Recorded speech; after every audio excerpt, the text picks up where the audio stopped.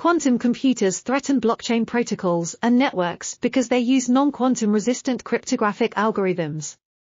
When quantum computers become robust enough to run Shor's algorithm on a large scale, the most commonly used asymmetric algorithms, such as RSA, EC, DSA, and ECDH, will no longer be secure. Additionally, Grover's algorithm provides a quadratic advantage when mining blocks in certain consensus protocols, such as proof of work.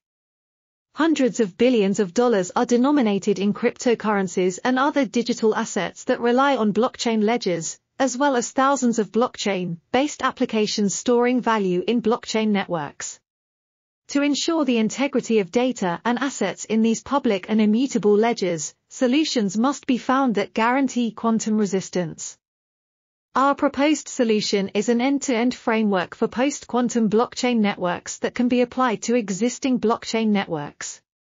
This framework includes the generation of post-quantum key pairs, the establishment of post-quantum TLS connections and X.509 certificates to secure the exchange of information between blockchain nodes over the Internet, the introduction of a post-quantum second signature in.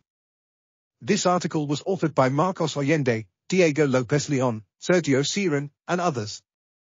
We are RTCL.TV, links in the description below.